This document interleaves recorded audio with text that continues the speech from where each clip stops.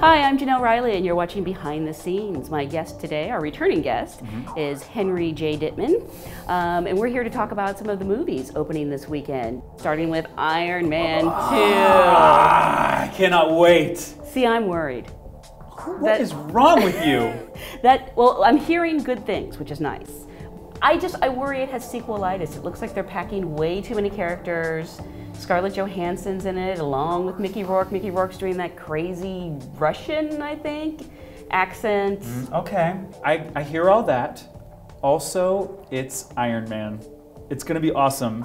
I think the action looks great. Here's my one concern. It's the the government wants to get this tool for good to turn it into a government weapon. Uh, it's so on the nose. Of course, the government wants to turn this into a weapon for evil, but I can't wait to see it. It's going to be the biggest movie of the summer. It's going to be a huge hit, and I will see it on the big screen within the first week of it coming out. Sort of along the same lines, we have opening May 14th Robin Hood, which reteams director Ridley Scott and star Russell Crowe from Gladiator. Uh, I think that I can't wait to see Braveheart too. Right. Which is what exactly what it looks like. It, it yeah, like shot by shot. I think it's going to be great. I won't rush to see it, but as the summer goes on and it hangs around, I'm sure that I will end up seeing it. I will rush to see it for the stupidest reason ever. The screenwriter is Brian Helgeland, who, as we all know, wrote A Knight's Tale, the greatest movie ever made. Oh my god.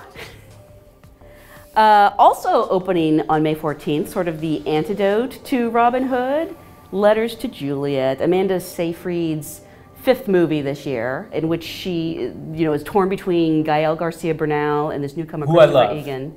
Now, I have to admit, this one I'm excited about. I'm sure it's as predictable as Robin Hood. It's probably cheesy as hell. Why are there archery battles in Letters to Juliet? Because that's the only reason I would see it.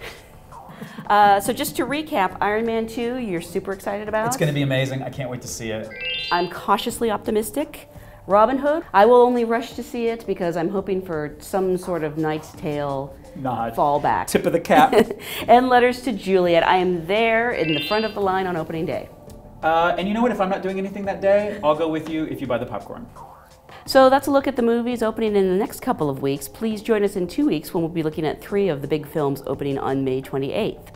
I'm Jenelle Riley. My guest has been Henry J. Dittman, and you're watching Behind the Scenes.